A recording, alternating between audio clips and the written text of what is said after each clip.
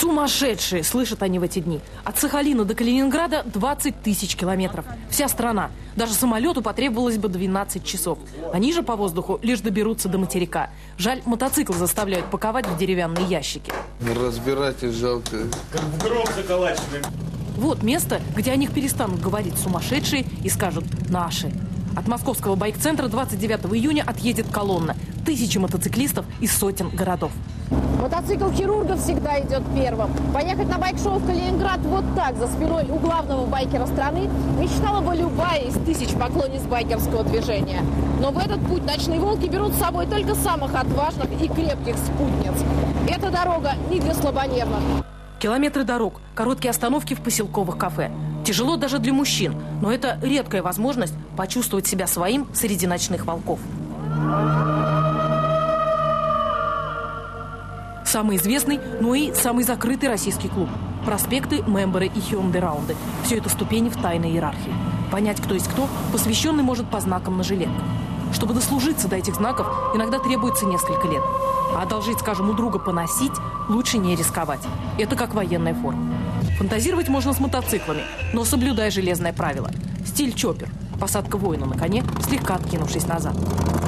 Легкие юркие спортбайки, которые заставляют пригибаться к рулю, здесь пренебрежительно именуют креветками. Мощнейшие модели спортивной серии переделывают под себя. Здесь вынесенные ноги вперед, что, в принципе, на мотоциклах с спортивным мотором никогда не делается. Но я вижу, чтобы мотоцикл напоминал все-таки лошадь, а человек, сидящий на нем, викинга, рыцаря, если хочешь.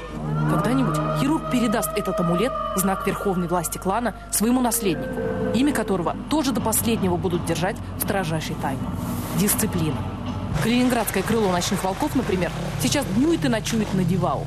Старый немецкий аэродром. С 1 по 3 июля здесь будет байк-шоу. Ночные волки делают все сами. От творческих идей до черновой работы. Прыгать каскадеры будут с э, окон с этих баги проламывать будут прыгать. Последние порции шнапса смакуют берлинские байкеры. В дороге ни капли. Железное правило. Такое же, как и обязательный шлем на голове. Немецкая педантичность, а может просто мудрость. Немецкая делегация самая старшая. Бранко шутит, что кое-кто из них помнит те времена, когда Калининград назывался Кёнигсбергом. Бранко поведет колонну. На это время ему дается почетнейшее звание – Кэптен Рот, капитан дороги. Я поведу их через Польшу. Там к нам присоединится колонна польских байкеров. А на российской границе нас уже встретят хозяева, россияне. А раньше всех в дорогу выдвигается знаменитый бензовоз. Копия бензовоза из картины «Мэд Макс», культового для байкеров фильма. Участник всех последних байк-шоу, он давно привык и к дальним переездам, и к ослепляющему лазеру, и к языкам пламени, без которых не обходится ни одно байк-шоу. Олеся Кузина, Оксана Семенова, Олег Грознецкий и Олег Мигунов. Первый канал.